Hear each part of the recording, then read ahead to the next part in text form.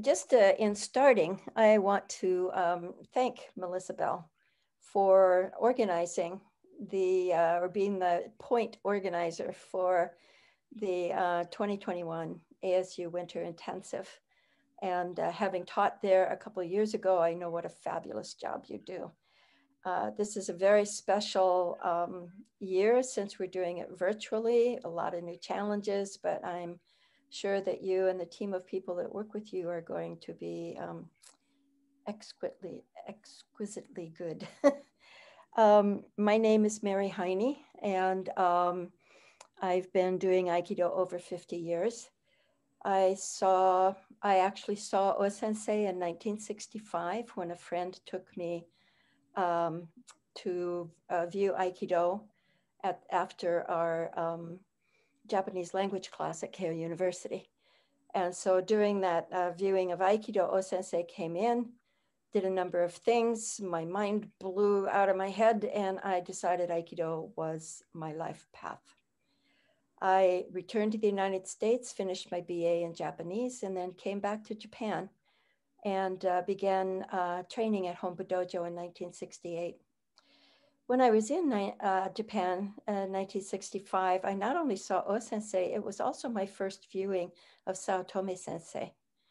And uh, this was at a private demonstration for the Japan Self-Defense Forces. And I don't know how it was that my friend got me into this. But uh, Saotome Sensei did a demonstration of uh, Randori, multiple attack with all live weapons. Uh, I think there were four or five people. And I knew nothing about Aikido or martial arts in general, but I watched him move. And all I could see was water coursing its way over the rocks of a stream bed.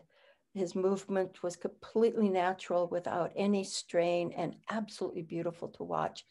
And somehow all the guys wound up on the floor.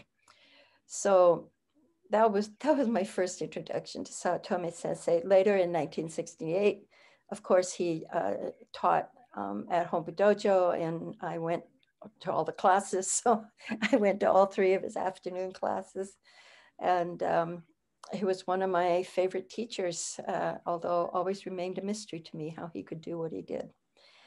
Um, I came back to the United States just before Christmas in 1973.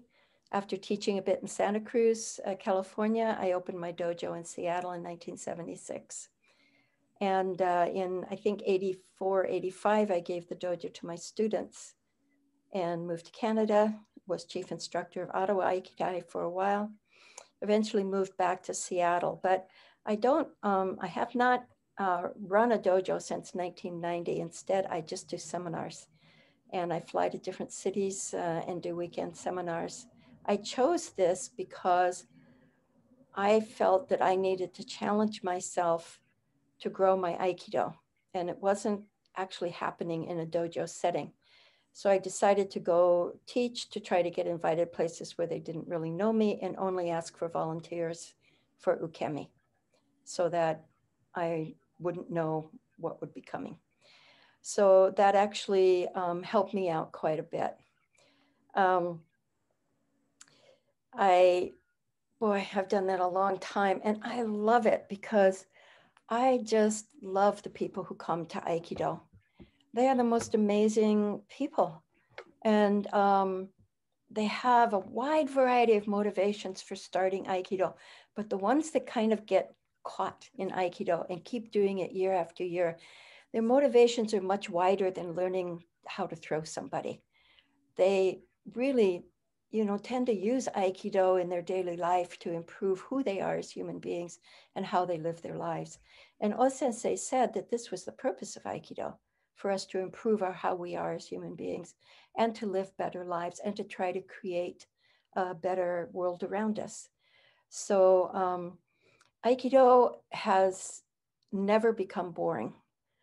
And um, I think because, you know, my very first experience with Aikido, I was really attracted to these values of Aikido. I really understood intuitively, somehow, in that moment of seeing O Sensei, that Aikido would radically change my life for the better.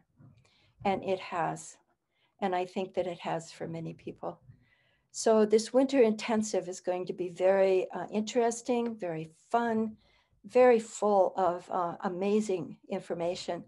Uh, we have Bill Gleason Sensei, Dan Messisco Sensei, Jan Nevelius Sensei, Chuck Weber Sensei, and um, Wendy Whited Sensei. And boy, what a lineup. I mean, this is going to be so interesting and it will be really challenging for people, I think, because this is going to run the gamut of training our minds and bodies um, together. Um, I was asked, uh, Melissa, in one of your emails, um, what should what should people bring to my class? And frankly, you need to bring your mind, your body, and your heart, and don't leave one at home. It is important that all aspects of our who we are as human beings are present and accounted for.